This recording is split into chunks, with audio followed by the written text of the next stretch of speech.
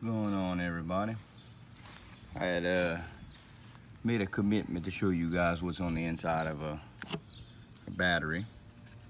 A while back I just hadn't had time to get around to it, but this is a DeWalt 60 volt. Here's a DeWalt 20 volt. Um, Milwaukee, DeWalt, Ryobi, uh, Ridgid, Makita, all of them are essentially the same. Let me go ahead and plug this in. Show you that it works. This one's functioning correctly, but if you have any troubles, you can open it up and uh, you know see what's going on inside.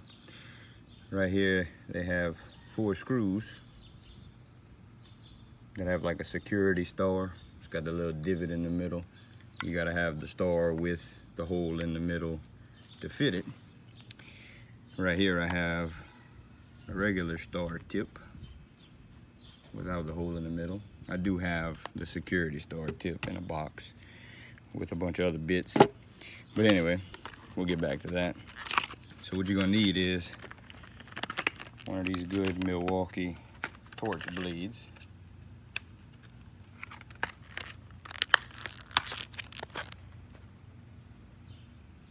Good blades right here. Go ahead and put that in your sawzall.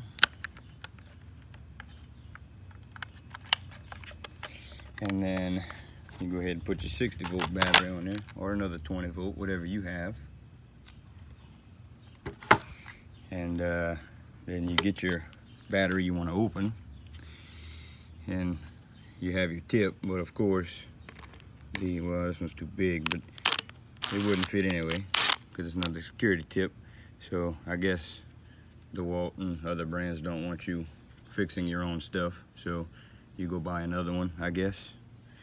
Or they don't want your five-year-old that knows how to work a screwdriver to get it open. So when you don't have the security tip, what you gotta do is you get your star tip, you get you a screw that has a star head in it,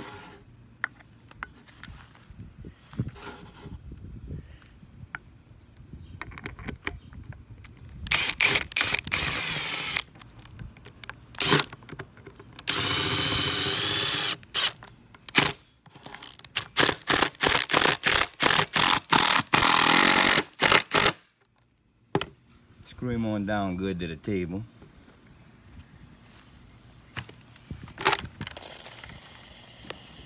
Back up the camera just a little.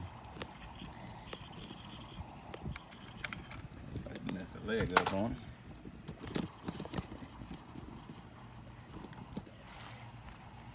I hear it, I hear it going shh.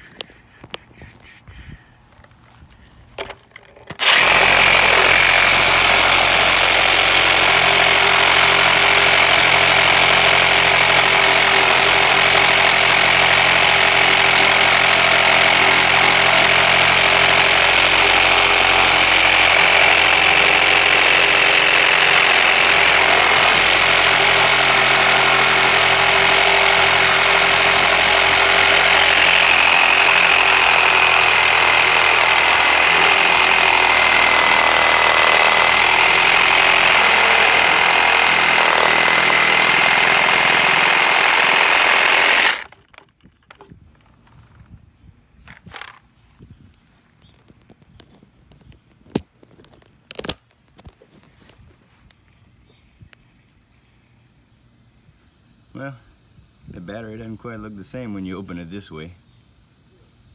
Maybe I'll have to try opening the other way to show you guys.